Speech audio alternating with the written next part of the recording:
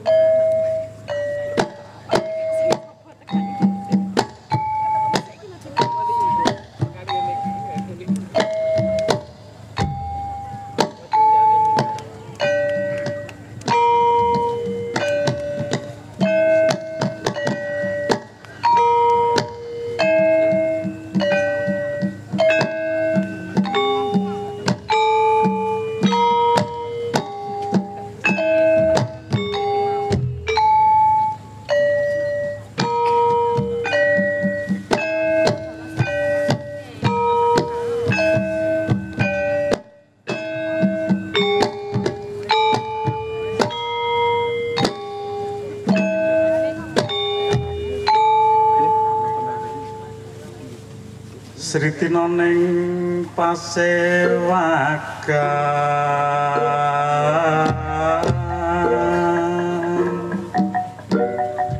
busana maneka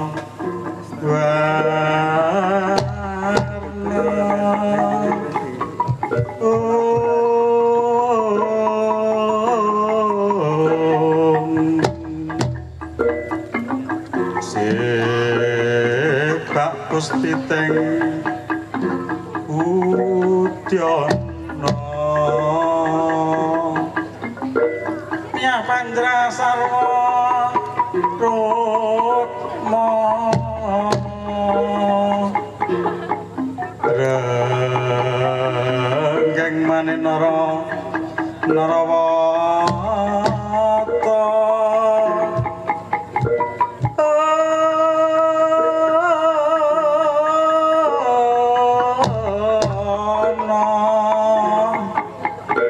Abrapa penyasuh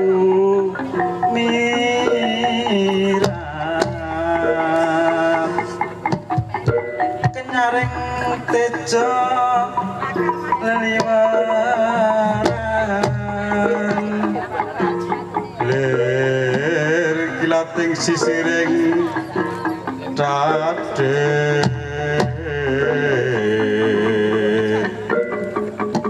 katiping maruta mando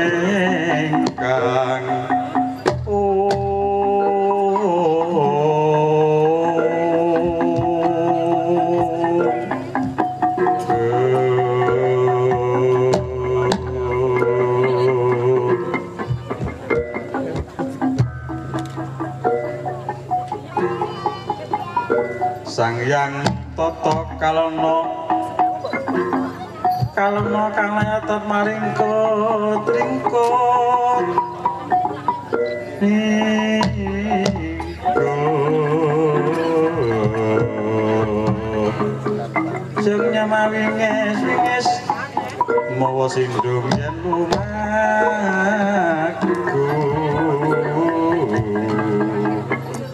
Ketruk-ketruk katon ambengkan bumi. Eh.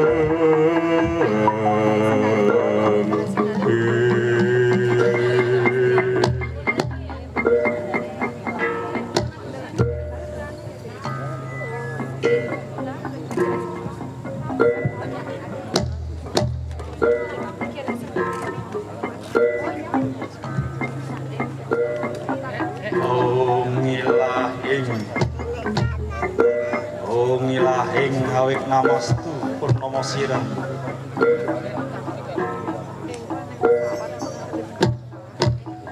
Pada zaman dulu kala. Zamannya para dewata. Tersebut ada satu kisah. Kisah pilu Kesatria berwajah raksasa.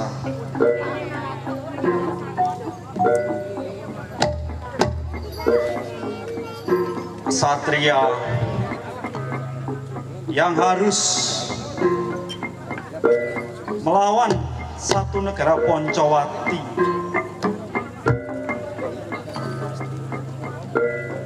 Bukan karena membela tirani yang terjadi. Namun hanya demi harga diri. Harga diri yang harus dijaga oleh seorang ksatria Tripama. Kala itu terjadi peperangan antara negeri Poncowati dan negara Alengka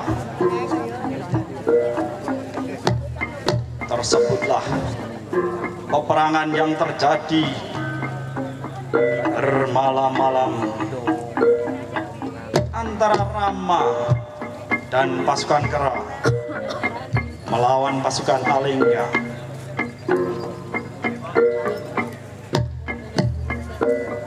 dari kedua belah pihak gugur berguguran para prajurit setia.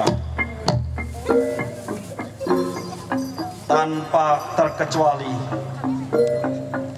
Sarpo Kenoko. Setelah Sarpa Kenaka tewas menyusul anak-anak Prabu Dasamuka dan Patih Prahasta gugur di medan laga membuat dendam Prabu Dasamuka semakin menjadi-jadi. Prabu Dasamuka memerintah beberapa pasukan untuk pergi ke Gunung Gokarna. Oh, ladalah. Untuk membangunkan Sang Kumbakarna dari tidur tapanya. Namun Kumbakarna dengan jalan apa pun tak bisa dibangunkan dengan suara gajah dengan suara musik yang begitu kencang dengan ditusuk-tusuk dengan tombak pun Kumbakarna tiada bangun sama sekali. Kemudian Prabu Dasamuka memerintahkan kurir untuk menemui Prabu Sumali agar anak-anak Kumbakarno, Kumba-kumba dan Aswani Kumba maju ke medan laga. Oh, kedua anak Kumbakarno tidak pernah berurusan dengan Alengka. Mereka tinggal di Panglebur Gangsa, tinggal bersama ibunya Dewi Keswani dan eyangnya Prabu Sumali. Usia Kumba-Kumba dan Aswani Kumba masih belasan tahun terbilang masih remaja. Sebenarnya Dewi Keswani pun merasa berat hati untuk Sumali menolak pesan dari Prabu Dosomuko. Namun apa dikata, Prabu Sumali dan Dewi Kiswani membiarkan kedua anak Kumbakarna berangkat ke medan laga. Di satu sisi, prajurit Poncowati telah bersiap untuk menerima kedatangan mereka. Dari penjaga perbatasan memberi laporan kepada Anggada bahwa kekuatan penuh di bawah pimpinan sepasang anak kembar Kumbakarno, Kumba Kumba dan Aswani Kumba telah memasuki perbatasan pertahanan Suela Kiri. Oh,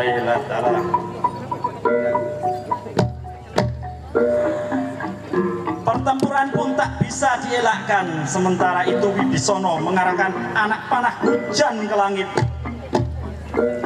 Anak panah pun meluncur bak mega mendung. Hujan lebat panah api prajurit Alingka bisa dilumpuhkan. Perang pun terjadi raksasa melawan pasukan kera dengan jumlahnya puluhan ribu. Ditambah pasukan dari Gua Kiskenda terus merangsak mundur pasukan Alengka.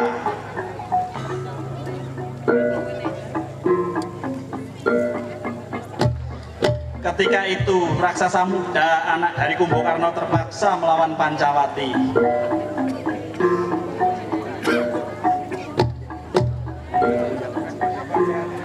Begitu saktinya Kumba-Kumba dan adiknya Aswani Kumba. Jika salah satunya tewas, saudaranya melompati, kemudian hidup lagi. Tidak terkalahkan memang anak Kumbokarno. Beruntung Sugriwa dan Anoman segera melawannya.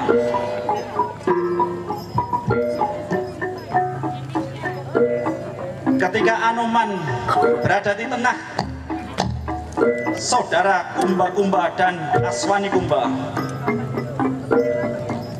Kakak beradik itu melawan dengan kecepatan tinggi dan bertabrakanlah dia hingga meninggal dunia.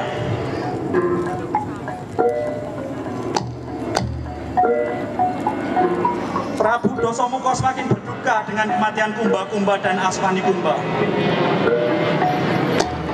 saatnya tokoh Alengka yang tersimpan di Gunung Gokarnas sudah saatnya harus dibangunkan dan berangkat ke medan perang mempertahankan Alengka di Raja.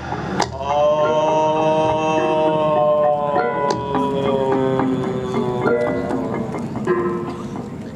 Teja Mantri Togok menghadap Prabu Dosomuko bahwasanya ia bersedia membangunkan Kumbo Karno kalau mendapat perintah dari Prabu Dosomuko.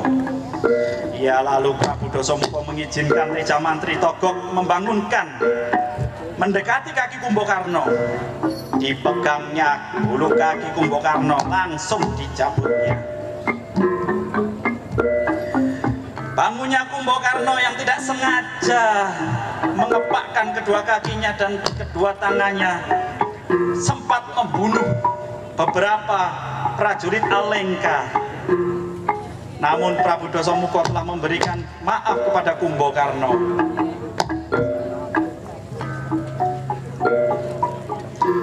Adikku Kumbokarno, panjaluk mopo, kowe tak jaluk itulung, tak kon nglawan Poncowati. Adalah aku siap no, tumpeng sewu panggang sewu. Dasamu kamu terkaget-kaget. Makanan yang seharusnya bisa dimakan sekelurahan. Bisa dimakan sang adik dengan ajian buwo mengo. Seketika itu mulut Kumbokarno membuka lebar mulutnya. Oh. dalam sekejap makanan itu pun habis.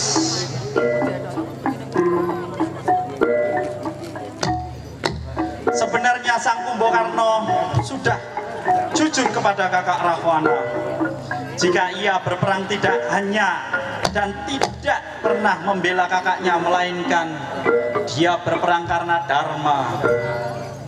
Dia tidak ingin negara Alengka diinjak-injak harga dirinya oleh pasukan Poncowati. Oleh karena itu Kumbokarno sebagai senopati dengan berpakaian seorang Brahmana putih-putih Sang adik Wibisono menyayangkan kehadiran kakak yang mau berkorban membela keserakahan Pak Budoso Muko. Eh, ladala. Kumbokarno memberitahukan bahwa kedatangannya di sini tak menginginkan perang, tetapi juga tak menginginkan negerinya diinjak-injak oleh musuh. Ia berjanji tidak akan membunuh pasukan Poncowati. Namun ia juga bersedih kedua anaknya harus gugur di medan peperangan.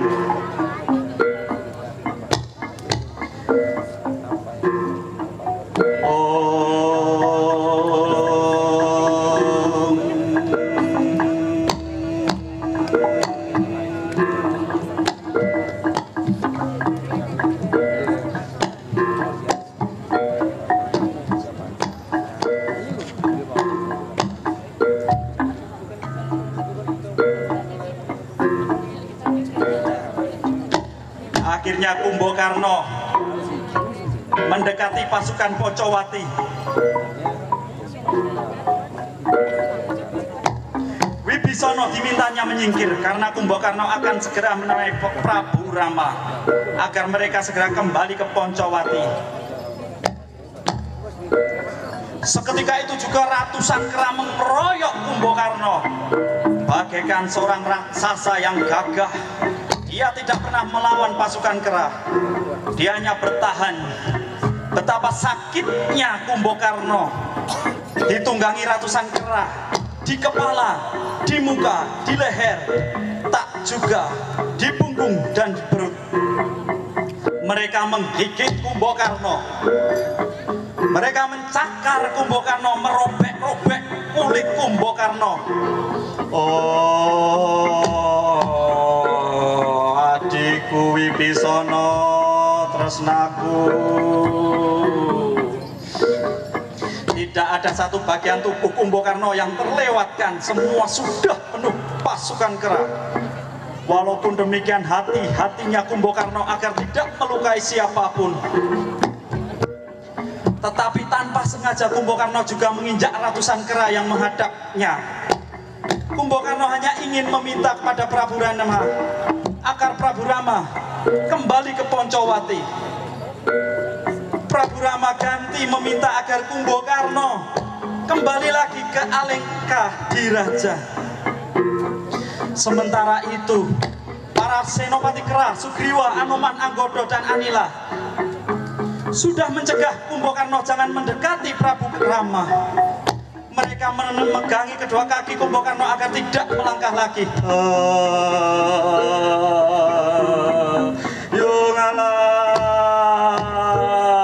Tetapi keempat satria kera itu tidak berdaya. Mereka berjatuhan dan hampir-hampir Kumbakarna memiliki ukuran tubuh beberapa kali ukuran raksasa biasa untuk membebaskan derita Kumbakarna terpaksa Prabu Rama pun mengingatkan jangan maju lagi. Namun Kumbakarna tetap melangkah. Bagi Kumbakarna negara adalah suatu tempat yang suci yang harus dijaga apa pun keadaannya. Kemudian Prabu Rama memanah Kumbakarna mengenai tangan kanannya. Tangan kanan seketika itu terpotong karena terkena panah sakti Prabu Rama. Dengan tidak sengaja, tangan pun berjatuh dan mengenai puluhan ekor kera yang tidak-tidak pernah disengaja oleh Kumbakarna.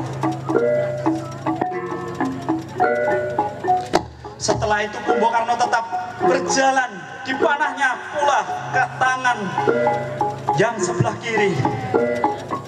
Tanpa kedua tangan Kumbakarna tetap maju. Bak kesatria di medan laga. Gagah berani tiada khawatir juga. Dalam hatinya tidak ingin membela kakaknya, namun ini adalah negara yang harus dilindunginya. Prabu Rama pun terpaksa memanah kedua kaki Kumbakarna. Oh, Wibisono adikku yang Kumbakarna yang tidak mempunyai tangan dan tak mempunyai kaki menggulung-gulung kesakitan tanpa sengaja banyak kera tewas tertindas oleh tubuh Kumbakarna. Prabu Rama merasa ngeri dengan keadaan Kumbakarna. Wibisana segera meminta meminta izin kepada Prabu Rama untuk mengakhiri Kumbakarna untuk menyempurnakan kematiannya. Kemudian panah kelima Prabu Rama meluncur mengenai leher sang Kumbakarna. Kepala kembung Kumbakarna terpisah. Kumbakarna pun gugur. Kumbakarna membela tanah airnya, bukan membela keangkara murkaan Prabu Dasamuka. Sepertinya pun alam semesta juga merestui jalan Dharma Sang Kumbakarna. Kumbakarna disambut harum bunga melati yang turun dari langit. Tubuh Kumbakarna yang semula terpotong-potong dan terceter di mana-mana tiba-tiba menyatu menjadi Kumbakarna yang utuh kembali. Kumbakarna hilang dari pandangan mata. Rupanya Kumbakarna moksa. Jiwa dan raga Kumbakarna diterima oleh dewa dan ditempatkan di swarga Pangrantunan. Prabu Rama dan segenap punggawa terkesima dengan peristiwa itu. Terlebih Wibisono menangisi kepergian kakak yang sangat dicintainya. Oh,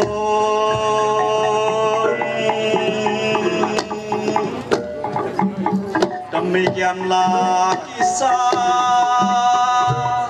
sang pahlawan Sri Parma Sang Kumbhakarna inspirasi.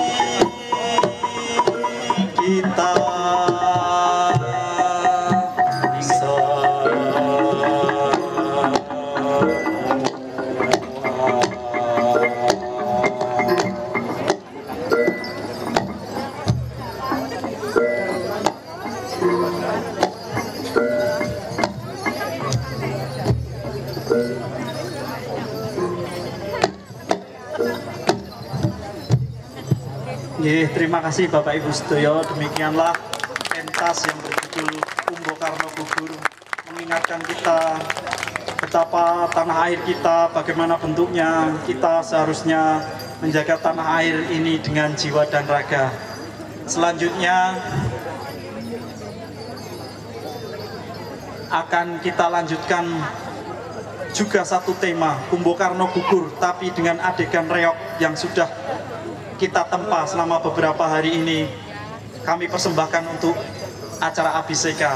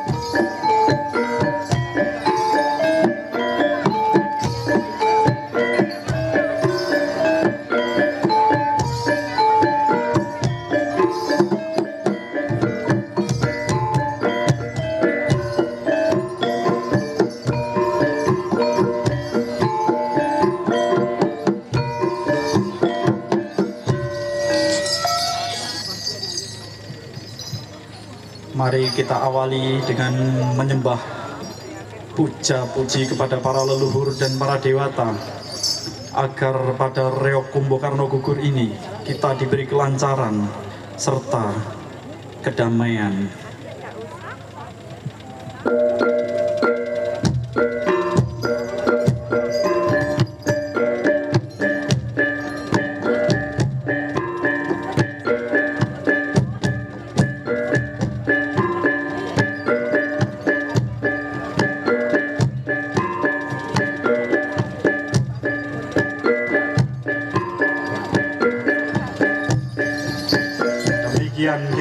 hormat kepada para tamu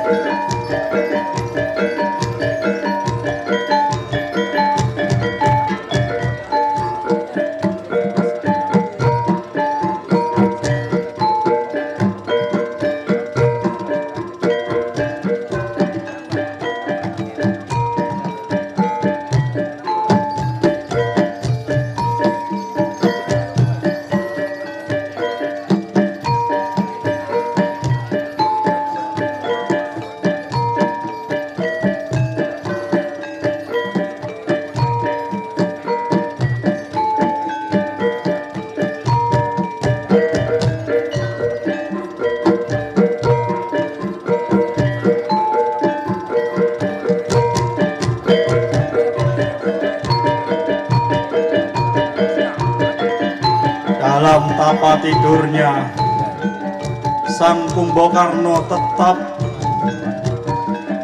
dengan gagahnya terdiam memasuki kawasan pertarungan pasukan kera bersama-sama menyerang Sang Kumbakarna.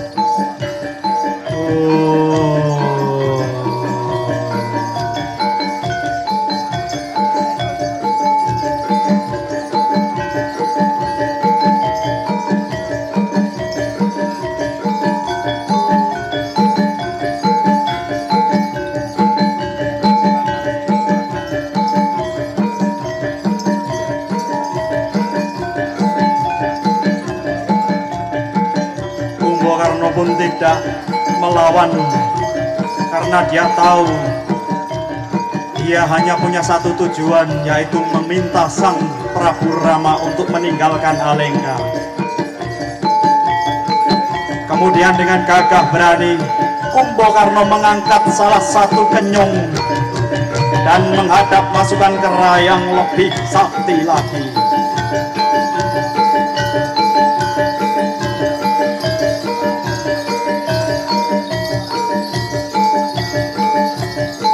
pertarungan pun tak terelakkan lagi. Oh.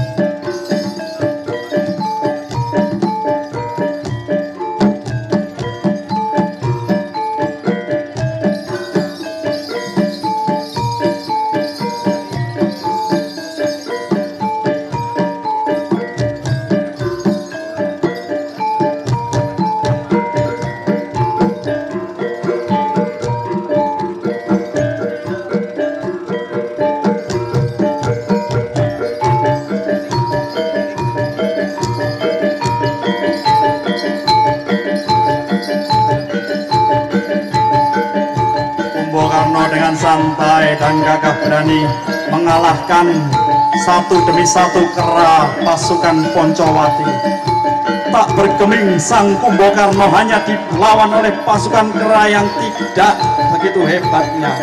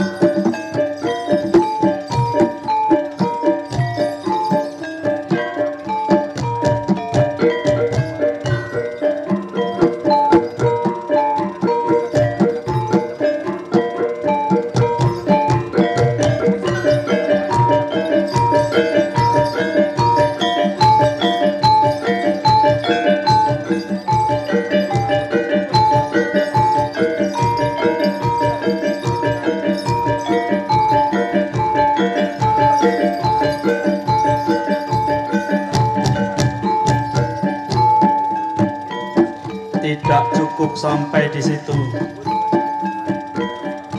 Ketika jalur komunikasi tidak menemui titik tengah,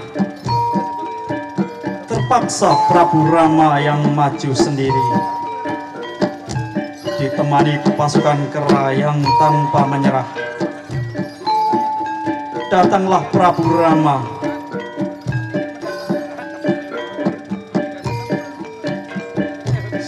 Saatnya bagi mereka berdua untuk adu kesaktian. Namun di situ Sang Kumbokarno tetap berjanji tidak akan melukai sifat siapa pun juga.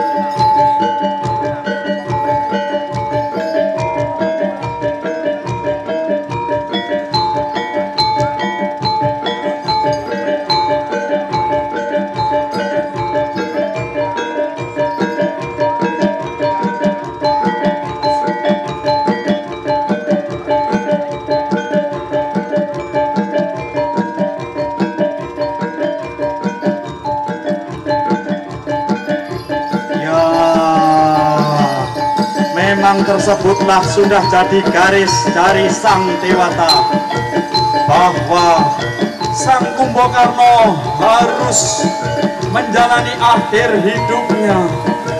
Dan terbunuhlah Sang Kumbokarno menaungi rakyat menjadi pahlawan pahlawan yang luar biasa bagi negara Alengka. Tersebutlah kisah dari Sang Kumbokarno gugur. Terima kasih.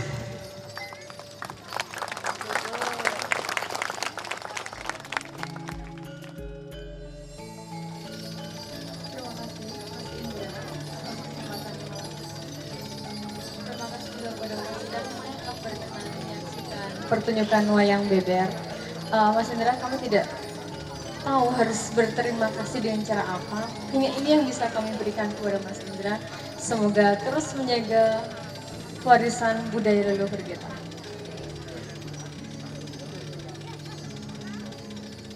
Jangan dilihat dari bentuknya ya. Mari kita berikan aplaus yang meriah. Terima kasih.